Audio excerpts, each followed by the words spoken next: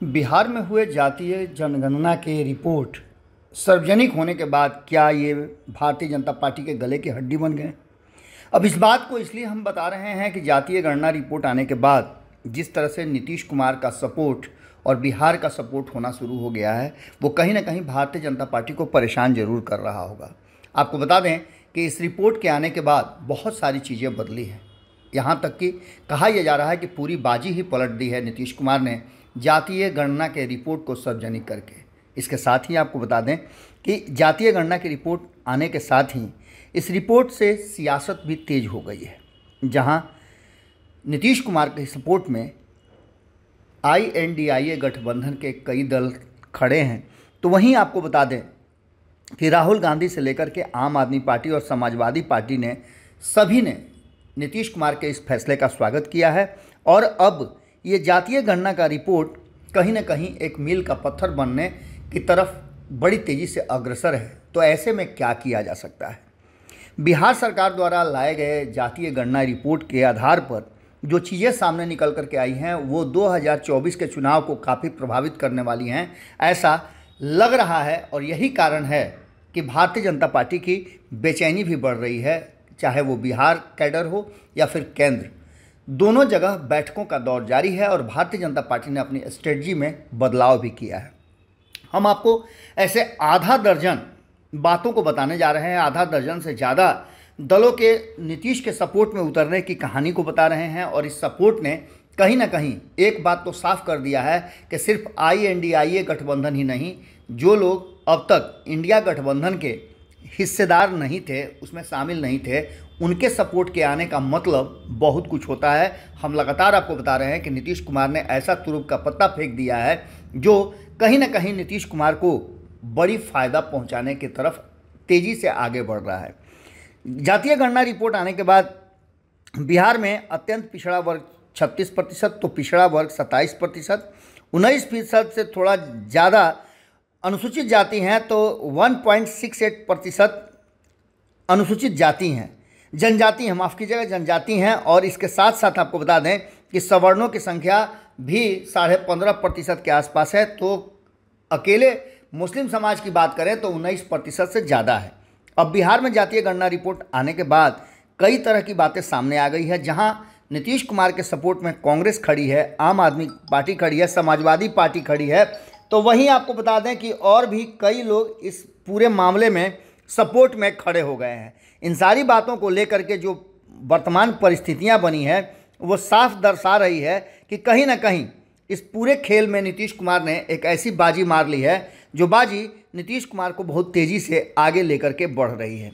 आपको बता दें कि इसमें कई बयान हैं जो जानना बहुत ज़रूरी है और ख़ास करके इन बयानों के साथ साथ ये भी जानना ज़रूरी है कि इस रिपोर्ट के आने के बाद बदला क्या है। राहुल गांधी ने जिस तरह से इस रिपोर्ट के आने के बाद जातिगत गणना, जैसे ही पता चला, OBC plus, SC plus, ST चौरासी प्रतिशत है।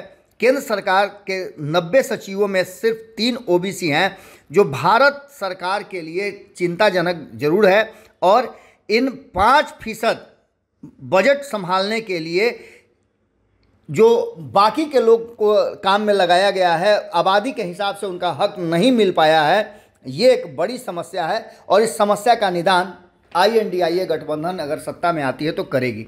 इसके साथ साथ कांग्रेस के अन्य कई नेता, चाहे वो जयराम रमेश हों या अन्य नेता हों, हर तरह से यूपीए टू के तर्ज पर यूपीए थ्री कह लीजिए या आई एन डी आई ए गठबंधन कह लीजिए, उसमें पूरी तरह से वो अब हक हुकूक देने की बात करने लगे हैं।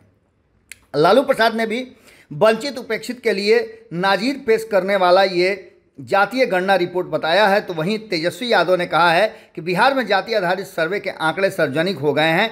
ऐतिहासिक क्षण था और 2 अक्टूबर को जब ये सार्वजनिक हुआ, उसके बाद से लगातार चर्चाएँ तेज हो गई हैं। ये तो हम आपको सामान्य सी बातें बता रहे हैं। इसमें आम आदमी पार्टी का भी सपोर्ट आया है और आम आदमी पार्टी ने उनके नेता जो संजय सिंह हैं, उन्होंने जैसे ही रिपोर्ट आया था, वैसे ही अब ये बात कहनी शुरू कर दी थी कि ये रिपोर्ट और जातीय गणना, उत्तर प्रदेश, हरियाणा, राजस्थान सहित अन्य क्षेत्रों में भी किया जाना चाहिए।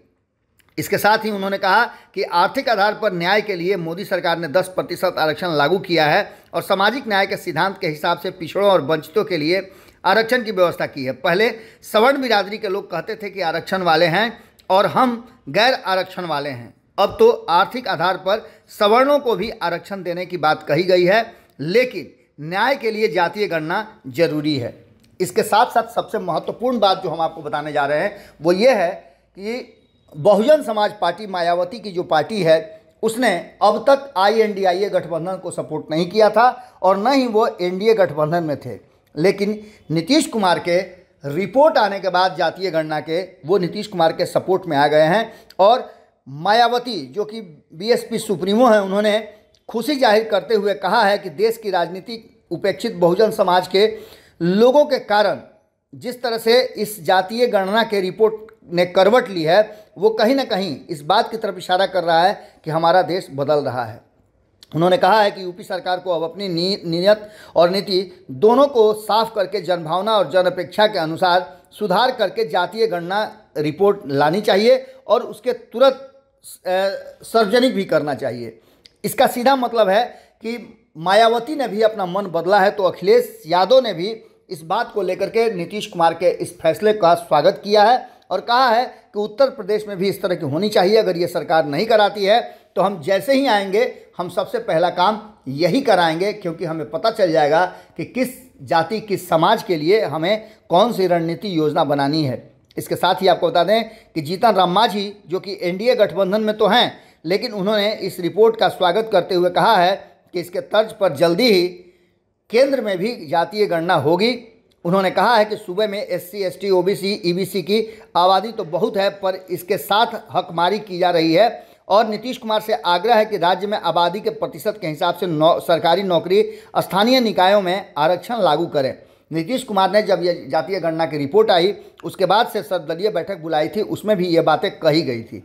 अब इन सारी बातों को लेकर के जो हम लगातार कहते आ रहे हैं कि नीतीश कुमार एक बार फिर से स्टार बन करके आए हैं, एक बार फिर से वो कप्तान बन के आए हैं तो कहीं ना कहीं नीतीश कुमार नज़र भी आ रहे हैं और यही कारण है कि भारतीय जनता पार्टी के लिए मुश्किलें पैदा होती हुई भी नज़र आ रही है। आपको बता दें कि इस पूरी कहानी में एक बात तो साफ़ नज़र आ रहा है कि कहीं ऐसा ना हो कि बाजी पलट जाए।